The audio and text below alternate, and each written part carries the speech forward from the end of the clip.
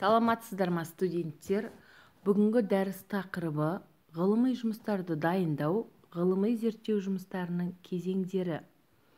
Ғылым бұл табиғат қоғам және ойлау туралы жаңа білімдерді алуға бағытталған зерттеу ортасы. Қазіргі таңда ғылымның дамуы ғылыми еңбек бөлінуі және бірігуімен ғылыми мекемелердің пайда болуымен экспериментті және зертханалық құралдармен тығыз байланысты. Еңбектің қоғамдық бөлінуі әсерінен ой және дене еңбегінің арақатынасы анықталғаннан бері ғылым пайда болды. Кәсіпорындарда ірі машиналар пайда болғалы ғылым кәсіпорынның белсенді факторы бола бастады. Ғылыми техникалық революция тұрғысында ғылым түсінігі өзгерді. Яғни ғылым техника дамуынан кейін емес керісінше материалдық өндірістің негізгі күші болып табылады. Қоғамдық өндіріске белсенді әрекет ете отырып ғылым қоғамдық өмірдің барлық саласын сипаттайды. Материалдық өндіріс экономика саясатта басқару ғылымы білім алуда ғылым қарқынды түрде дамуы керек. Бүгінгі қоғамда барлық элементі мен салаларында ғылым мен техниканың маңызы зор. Қазіргі таңда ғылым қоғамның дамушы күші болып табылады. Дене және ой еңбегінің түрлері медицина транспорт байланыс адамның күнделікті өмірінде ғылыми техникалық прогресс ерекше орын алады. Ғылымның жіктелуі белгілі бір принциптерге сүйенген өзара байланыстың анықтылығы мен осы байланыстың логикалық қорытындысы. Техникалық ғылымдар техникалық объектідегі табиғи дене мен құбылысының бағытталған өзгерісі туралы құрастырушы техникалық сала әдістері туралы қоғамдық өндіріс жүйесіндегі техникалық объект функциялау әдістері туралы білімнің ерекше жүйесі. Ғылыми зерттеу институттары жүйесінде жоғары оқу орындарында кітапханада және тағы басқа құрылуына байланысты ғылым әр түрлі түрлерге жіктеледі. Ғылым салалары заңды ғылым физика-математикалық ғылым химиялық ғылым экономикалық ғылым медициналық ғылым ветеринарлық ғылым психологиялық ғылым саяси ғылым архитектура мәдениеттану социологиялық ғылым өнертану фармацевтік ғылым педагогикалық ғылым философиялық ғылым ауыл шаруашылық ғылым техникалық ғылым биологиялық ғылым осындай бірнеше салалары бар. Біздердің бүгінгі ғылыми жоба тақырыбын таңдауда қалай жұмыс жасаймыз? Сол туралы айтып шығайын. Тақырып мәселелердің өзіне тән сипатын көрсетеді. Сонымен қатар тақырыпта қысқа формада құрылған айқын бір мағыналы дәл жарнамалық мәселелерді шешу әдістері болады. Ғылыми жоба тақырыптарын таңдау ережесі. Біріншіден тақырып қызықты тартатындай болу керек. Екінші тақырып орындалатын шешімі зерттеуге қатысушыларға пайдасы тиетіндей болу керек. Үшінші студенттің қызығушылығын ескере отырып жетекші өзі жақсы білетін тақырып аясын таңдау керек. Төртінші тақырып шынайы болу керек. Онда жаңа дүниелер күтпеген жаңалық ерекшелік элементтері болуы керек. Алтыншы тақырып жұмыс ұзақ жылдарға созылмай тақырып жұмысы тез орындалатын болуы керек. Келесі тақырыпты бәрі түсінетіндей болу керек. Тілегі мен мүмкіндігінің ұштасуы міндетті. Тақырып таңдар кезде жоғарыда айтып өткендерімізден басқа келесі мынадай ұстанымдарды ескеру керек.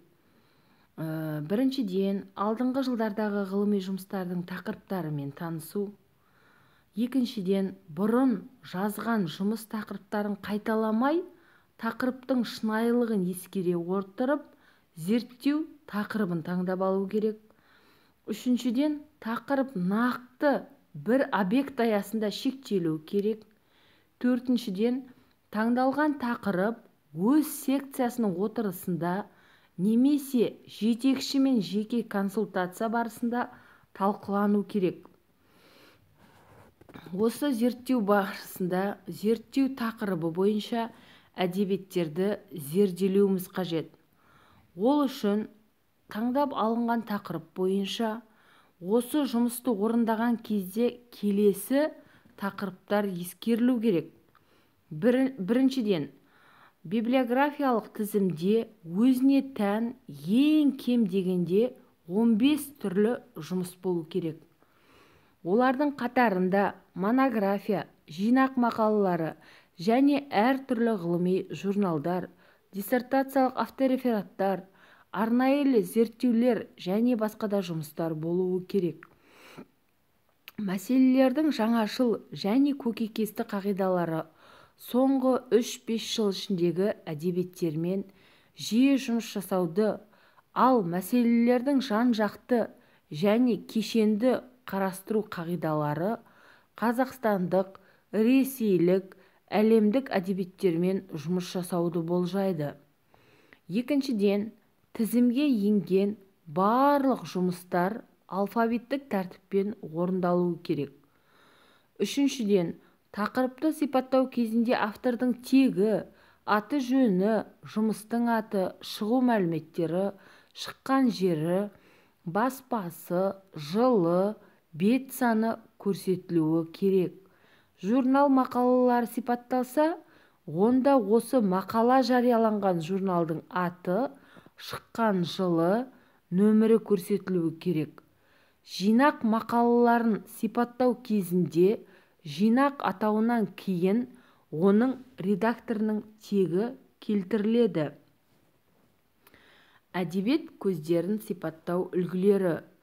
Былайша көрсетіледі. Міне көріп отырғандықтарыңыздай алдымен ә, автордың аты жөні жазылады.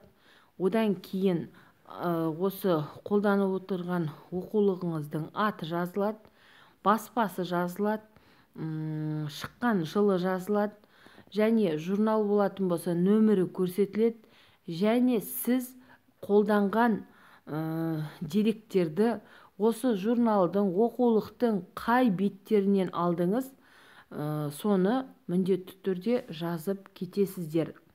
Интернеттен алынған мақалалар дәйек сөздер әдебиеттердің жалпы тізімдерінде төмендегідей көрсетіледі.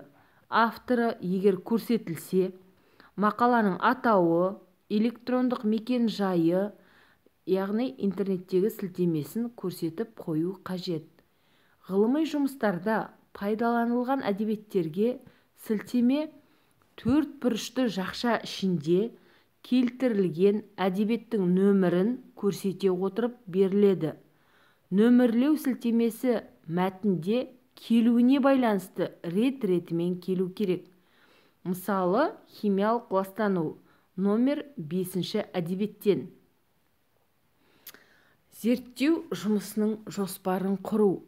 Зерттеу жұмысының жоспарын құру бұл тақырып бойынша жұмыс жасауға және зерттеудің басында қойылған тапсырмаларды шешуге жол көрсетеді. Зерттеу жұмысын жүргізу. Зерттеу мәселелерін теориялық тұрғыдан талдау.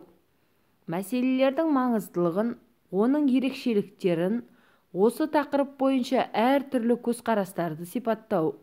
Сондай-ақ оның бүгінгі таңдағы шешілу жолдары. Осының барлығы зерттеу бөлімінің бірінші теориялық мазмұнын құрайды. Эксперименталды яғни практикалық бөлімі. Мәселелер мәнісін түсіндіретін және оны шешуге мүмкіндік беретін ғылыми әдістерді пайдалануды болжайды. Зерттеу жұмыстарының бұл кезеңі маңызды болып табылады. Бұл кезеңде жоба авторы өзінің шығармашылық мүмкіндігін көрсете алады. Бұл кезеңде эксперименттер байқау сауалнама әңгімелесу сұрақ қою интервью алу тағы басқа зерттеу әдістері пайдаланылады. Ғылыми зерттеуді жүргізу керісінде дұрыс ақпарат алу үшін бір емес бірнеше әдістер жиынтығы қолданылады. Зерттеу күнделігін жүргізу. Зерттеу күнделігі тақырыпты таңдаған күннен басталады. Әдебиеттермен жұмыс жасайды және жобаны рәсімдеу мен қажетті құжаттарды дайындау кезінде аяқталады. Зерттеу күнделігіне автордың барлық істеген жұмыстары көрсетілу керек. Күнделіктің бет парағы былай толтырылады. Алдымен ғылыми зерттеу күнделігі деп және сіздің зерттейтін тақырыбыңыз одан кейін студенттің тегі Э, одан кейін оқу орны факультеті оқу тобы курсы одан кейін ғылыми жетекшісі тегі күнделіктің негізгі бөлімінде студенттің істеген жұмыстары кезең кезеңмен сипатталу керек. Нөмірленіп тұрып жұмыстың мазмұны зерттеу әдісі және сол әдісті қолданып жасаған кездегі өзіне ескертуі алынған мәліметтерді өңдеу ғылыми зерттеулер мен ұсынымдар қорытындыларын рәсімдеу. Ғылыми жобаны рәсімдеу. Ғылыми жобада бет парақ мазмұны кіріспе теориялық бөлім зерттеу бөлімі қорытынды пайдаланған әдебиеттер тізімі қосымша егер қажет болса болуы керек. Жалпы алғанда студенттің ғылыми жобасы ұқыпты орындалу керек және әдемі рәсімделуі керек. Ғылыми жобаға келесі құжаттамалар қоса тіркеледі. Біріншіден аннотация қазақ орыс және ағылшын тілдерінде. Екіншіден ғылыми жетекшінің жұмыс туралы пікірі оның қолымен расталады. Үшіншіден зерттеу күнделігі. Мазмұны бар беттерді рәсімдеу былай жүреді. Беттің жоғарғы бөлігінде тарау немесе мазмұны деген сөз көрсетіледі. Мазмұнда ғылыми жоба бөлімдерінің реттілігі көрсетіледі. Кіріспе бірінші тарау екінші тарау үшінші тарау болады және тиісті тармақшаларымен бірге егер нөмірлену қажет болса. Келесі қорытынды әдебиеттер тізімі қосымша ол да егер қажет болатын болса мазмұнның әр тармағына қарсы оң жақты осы тармаққа сәйкес араб саны мен бет нөмірі қойылады. Бет нөмірі үшінші беттен басталатын кіріспе бөлімінен басталады. Бірінші бет бет парақ ол нөмірленбейді бірақ ескеріледі екінші бет мазмұны. Бұл да нөмірленбейді бірақ санау барысында ескеріледі.